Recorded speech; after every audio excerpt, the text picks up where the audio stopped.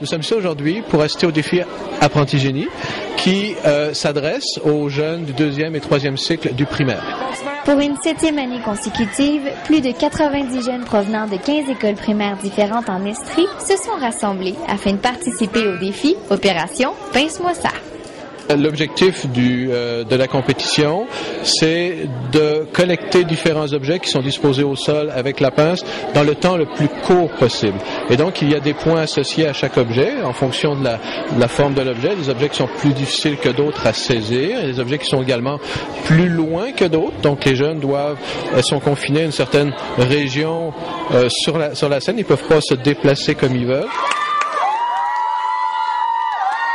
Selon Patrick Doucet, un concours comme celui-ci est un excellent moyen pour permettre à l'enfant de se découvrir et de se surpasser.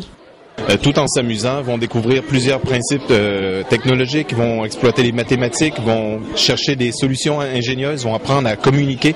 Alors, sans s'en rendre compte, ils apprennent le travail d'un ingénieur, mais finalement, c'est en s'amusant qu'ils le font. Ben au début, elle était pas comme ça, mais elle avait juste deux choses, puis on, après ça, on a mis deux morceaux de carton pour les rallonger, mais on trouvait qu'elle était pas assez longue, fait que là, on a mis deux règles puis des élastiques pour euh, l'articulation comme puis après on a mis des ballons des élastiques que ça soit euh, ça pogne mieux là pour euh, pour s'agripper les choses. Go! Comment Guy. Ça, ça a été bien hein? on n'était pas trop nerveux puis euh, c'est quand même été bien quand même. Natacha Lavigne pour estriplus.com